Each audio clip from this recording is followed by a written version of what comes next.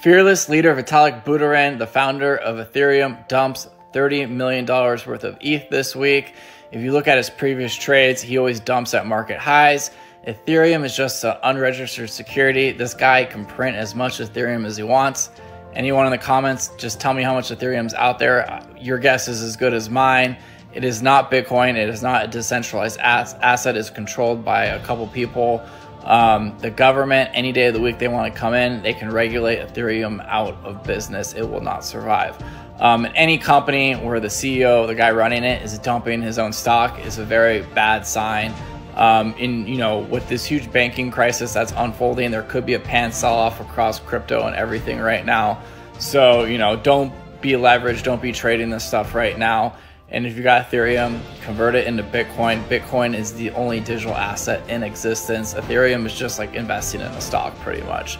So follow me, the Bitcoin Capitalist, for more updates.